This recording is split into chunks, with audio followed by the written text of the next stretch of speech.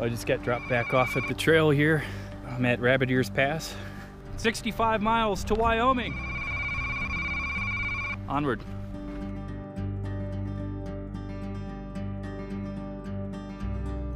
Well, Steamboat Springs wasn't one of my favorite town stops in Colorado.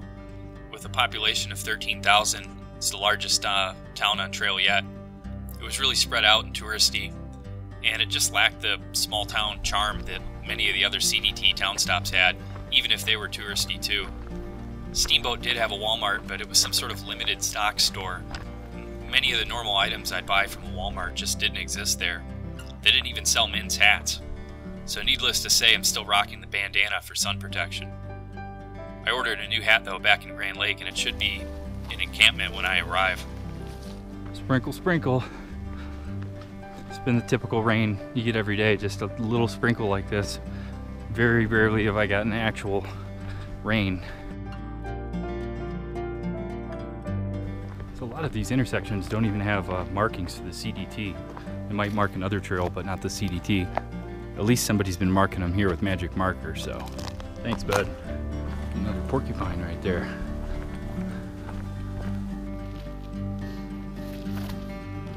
I was in Steamboat Springs, I was able to send pictures of the bubble in my air mattress to Thermarest.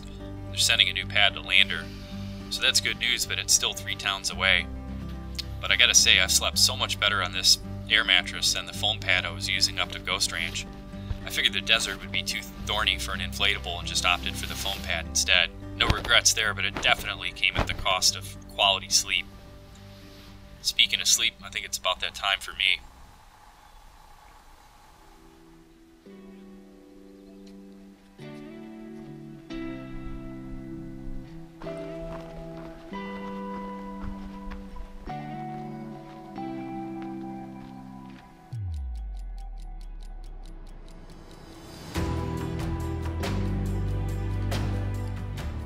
Just entered the Mount Zirkel Wilderness.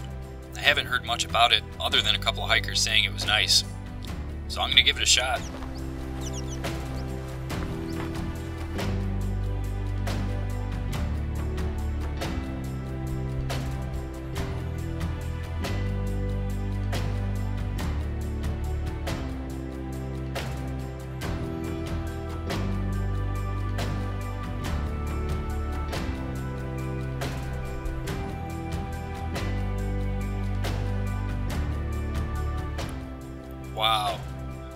This area is pretty awesome. To be honest, I wasn't expecting so much above tree line hiking, but hey, I'll take it.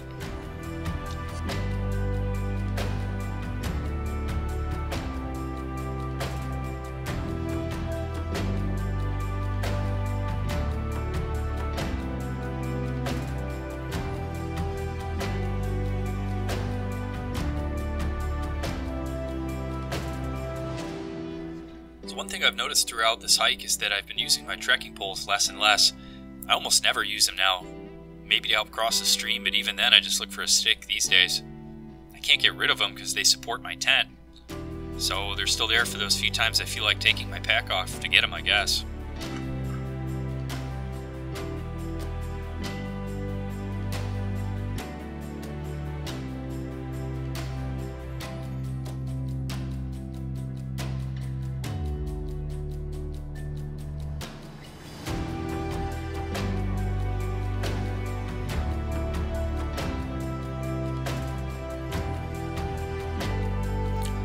So, one fun fact about my CDT hike I haven't had a fire yet.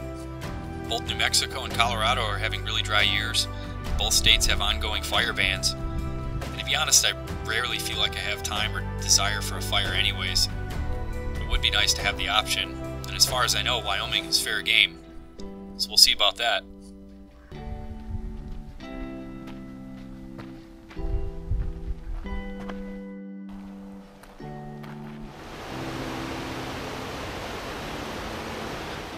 This is the uh, trailhead for the Mount Zirkel Wilderness, and it's empty. So it's all mine tonight.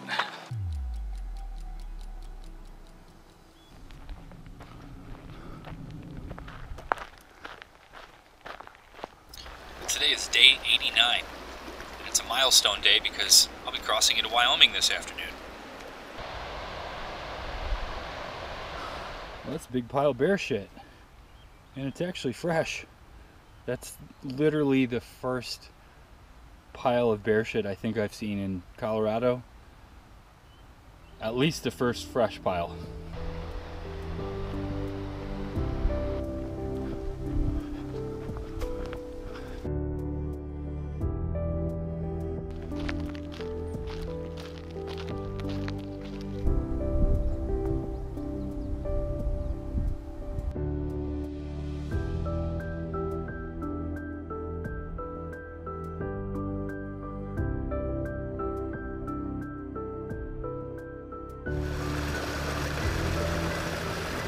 Let's see if I can cross this one without getting my feet wet.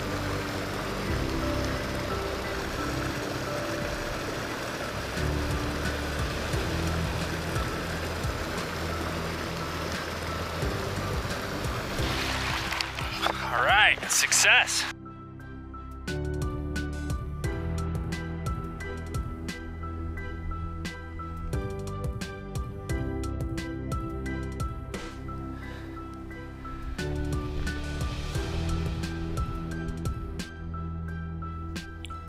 Be in Wyoming in a few hours, so this is probably one of the last distant views of Colorado.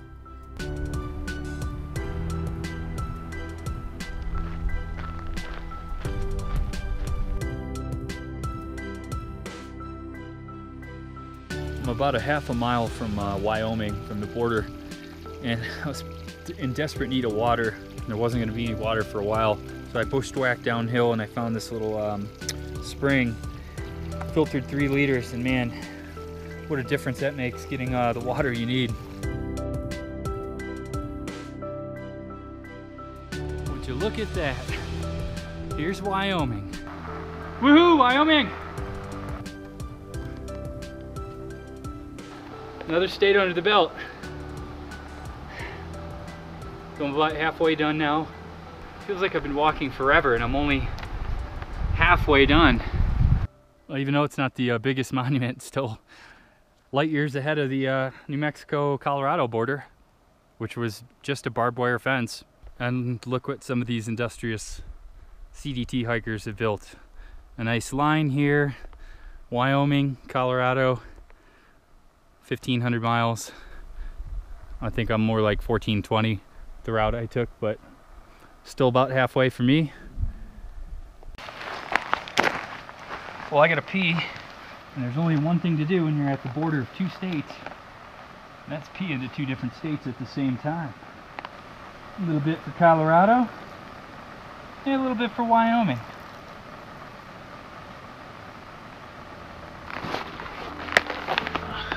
Let's see what Wyoming's all about.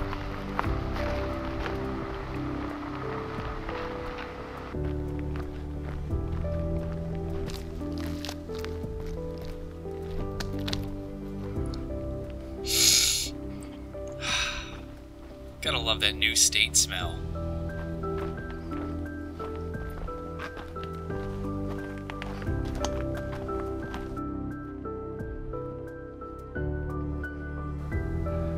Goodbye, Colorado. We're done with you. Here's yet another porcupine.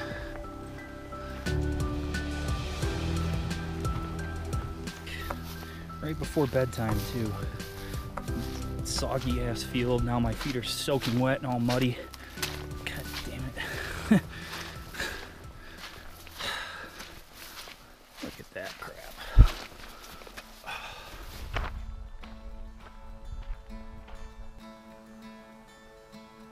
So I learned a neat trick this morning. If you're alone on trail and wanting to run into other hikers, simply take a dump within sight of the trail and poof, a hiker is guaranteed to appear. Pro tip.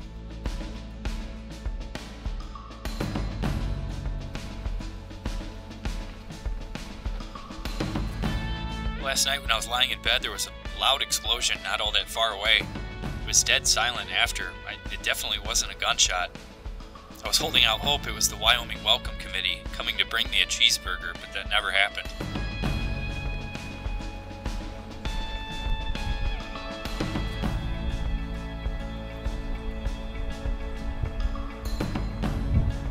All right, there's a battle pass down there that'll take me into encampment. But somebody built this nice box for us CDT hikers, which is full of goodies. I mean, I don't really need any water or anything. I'm going into town. OSHA root, sunscreen, ooh, tampons, clothes, cricket. I'll take the Bing cherry juice. Battle Pass. I've Heard this doesn't get a lot of traffic, so it might be a tough hitch. it's pretty dead already. The town of Encampment only has 59 people, I believe. And now we wait. Hopefully, I get some traffic soon. It looks like I got an hour before the post office closes.